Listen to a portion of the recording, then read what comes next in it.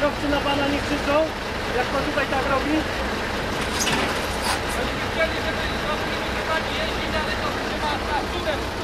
Ale wyzywają jakoś? Obliżają?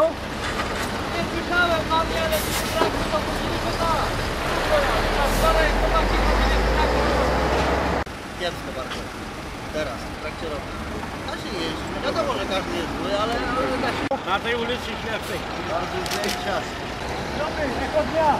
Jak to pan jeździ tutaj? Ale jakoś pan do...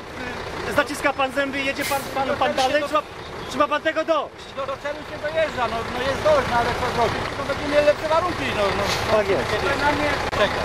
Tak bym powiedziała, że to chyba zrozumieć, bo dlatego, że no, muszą zrobić, żeby po prostu ulepszyć drogi, ale jest po prostu niebezpiecznie, bo trzeba uważać na autobusy. Yy, Prawdę powiedziawszy, jest mniej teraz stłuczek niż normalnie, bo jak każdy dojeżdża, widzi to jedzie 10 na godzinę 15.